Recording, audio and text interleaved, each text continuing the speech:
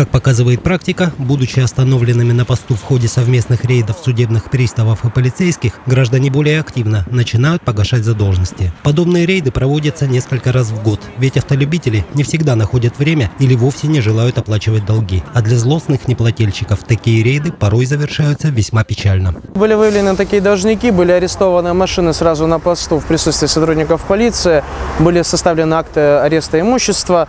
Данные граждане были вызваны к нам в отдел для уже дачи объяснения дознавателям с Федеральной службы судебных приставов и для возбуждения уголовных дел и погашения задолженности. И приносит хороший результат, потому что, как правило, почтовые освещения могут до людей не дойти, либо люди могут сказать, что они ничего не получали.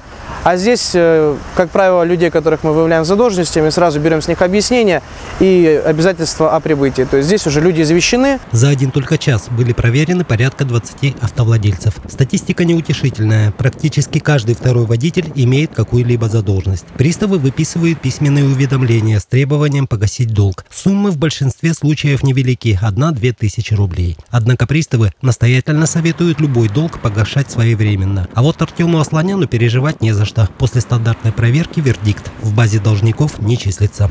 Я, честно говоря, приветствую, потому что у кого есть долги, я надеюсь, они должны закрывать. А ну, как-то так, чтобы свободно можно было продвигаться. Бывает, бывает, я стараюсь вообще в течение недели это все закрывать, потому что ну, смысл какой его оставлять, если когда-нибудь остановят и могут э, огромные там проблемы для тебя. За неуплату штрафа нарушителям грозит удвоение суммы, административный арест до 15 суток или исправительные работы. Должников все больше и больше, к сожалению.